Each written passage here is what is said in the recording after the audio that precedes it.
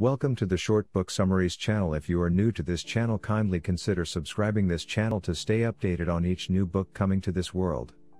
In case you like and want to buy this book, the link is given in the description below. Now enjoy the summary.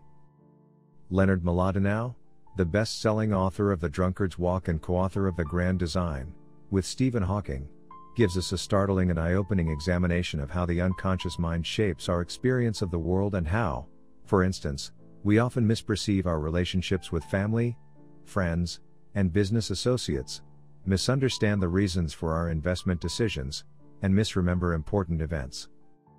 Your preference in politicians, the amount you tip your waiter, all judgments and perceptions reflect the workings of our mind on two levels the conscious, of which we are aware, and the unconscious, which is hidden from us. The latter has long been the subject of speculation.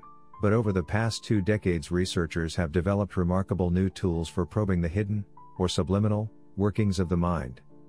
The result of this explosion of research is a new science of the unconscious and a sea change in our understanding of how the subliminal mind affects the way we live. Employing his trademark wit and lucid, accessible explanations of the most obscure scientific subjects, Leonard Mlodinow takes us on a tour of this research, unraveling the complexities of the subliminal self and increasing our understanding of how the human mind works and how we interact with friends, strangers, spouses, and coworkers. In the process, he changes our view of ourselves and the world around us.